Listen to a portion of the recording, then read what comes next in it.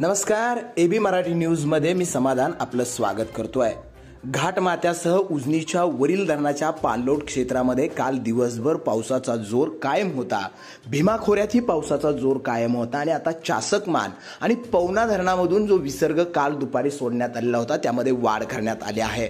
तसेच उजनीच्या वरील इतरही पाच धरणांमधून पाणी खाली जोडलं जात आहे आणि हे पाणी दुपारपासून दौंडमधून उजनीमध्ये येण्यास सुरुवात होईल. आणि त्याचा फायदा उजनीला होणार आहे आणि उजनीची पाणी पातळी ही आज सायंकाळपासून झपाट्यानं वाढणार आहे. तर चासकमान धरणामधून काल पाच हजार पाचशे दहा क्युसेकचा विसर्ग सोडण्यात येत होता. या धरणावरती काल छत्तीस मिलीमीटर पावसाची नोंद झालेली होती आणि आज तो विसर्ग वाढवण्यात आला असून सात हजार सहाशे पंधरा क्युसेक्सनं विसर्ग हा काल रात्रीपासून सोडण्यात येतो आहे. पावसाच्या अंदाजानुसार हा विसर्ग कमी जास्त होऊ शकतो. तर मावळ तालुक्यातील पवना धरण हे सुद्धा भरलेलं आहे आणि पवना धरणामधून जो एकवीसशे क्विसेकचा विसर्ग होता.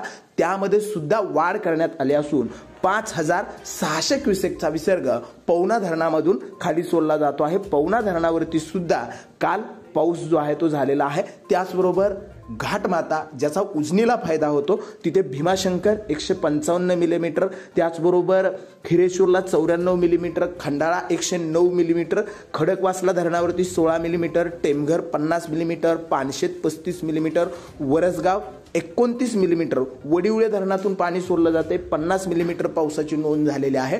घोड उपखोऱ्यात सुद्धा पाऊस त्या ठिकाणी झालेला आहे. त्याचबरोबर पुणे परिसरामध्ये सुद्धा काल दिवसभर त्या ठिकाणी पाऊस सुरू होता. आळंदी परिसरामध्ये पाऊस सुरू होता. एकूणच उजनीच्या वर जी उजनीला त्या ठिकाणी पाणी येणारी जी धरणं आहेत त्या धरणाच्या पाणलोट क्षेत्रामध्ये त्या ठिकाणी पाऊस होतो आहे. ढिंबे धरणाच्या परिसरामध्ये पाऊस झालेला आहे. आंध्रा धरणाच्या परिसरामध्ये सुद्धा त्या ठिकाणी पाऊस झालेला आहे. आणि आज सायंकाळपासून वरील धरणांमधून जो साधारण वीस हजार क्युसेक्सपेक्षा जास्त पाणी जे खाली सोडलेलं आहे ते आज सायंकाळपासून दौंडेतून उजनीमध्ये येण्यास सुरुवात होईल आणि त्याचा फायदा उजनीला होणार आहे.